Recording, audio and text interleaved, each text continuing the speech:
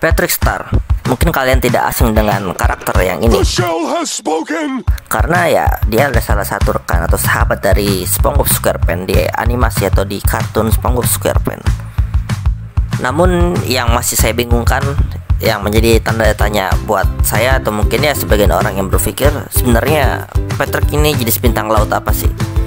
Apakah semua bintang laut itu berwarna pink atau ya kenapa sih Patrick ini adalah karakter bodoh yang berada di kartun atau di animasi SpongeBob SquarePants? The shell has spoken! Untuk lebih lengkapnya, let's go.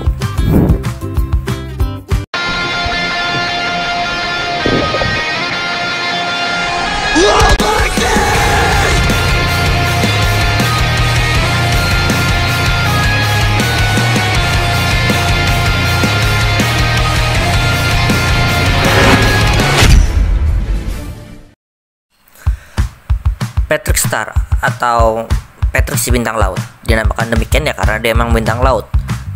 Dan untuk jenisnya sendiri adalah jenis bintang laut pink. Atau disebut juga pink sword spin star.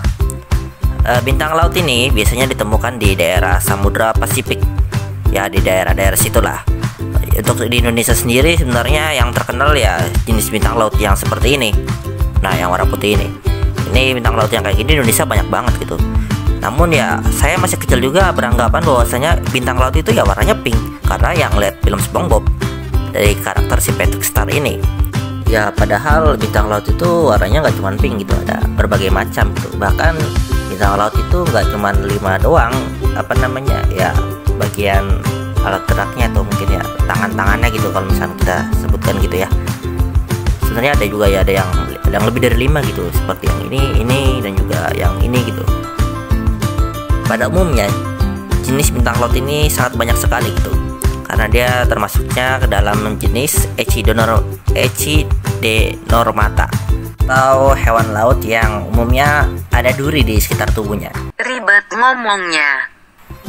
ya emang sejelas bintang laut yang ada durinya. Cuman kalau misalkan kita perhatikan lebih rinci lagi di bagian tubuhnya itu ada duri-durinya. Cuman ya nggak tajam jenis dari Echidormata sendiri juga ada banyak itu seperti eh, bulu babi ya bulu babi ya. Yang ini. Dan juga ada lagi seperti bintang ular. Dan bintang ular ini juga hampir seperti bintang laut lah cuman bedanya dia pada alat geraknya seperti ular gitu. Nah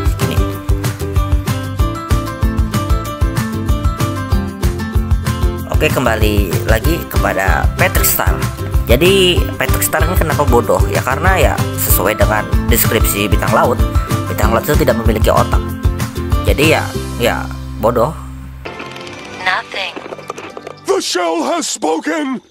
ya mungkin itulah anggapan dari kenapa ya sutradara dari film SpongeBob membuat Patrick ini ya terlihat bodoh atau mungkin ya emang bodoh gitu.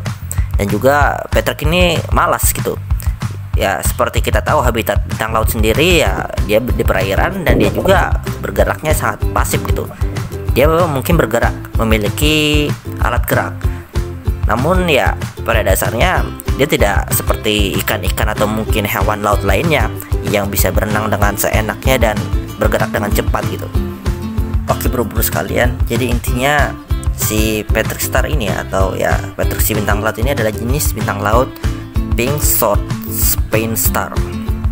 Atau juga disebut dengan giant pink star sea karena ya dia udah pink ukurannya gede gitu di antara bintang-bintang laut lainnya. Dan dia berhabitat aslinya tuh bisa ditemukan atau ya bisa ditemukan di Samudra Pasifik di perairan Samudra Pasifik. Oke sekian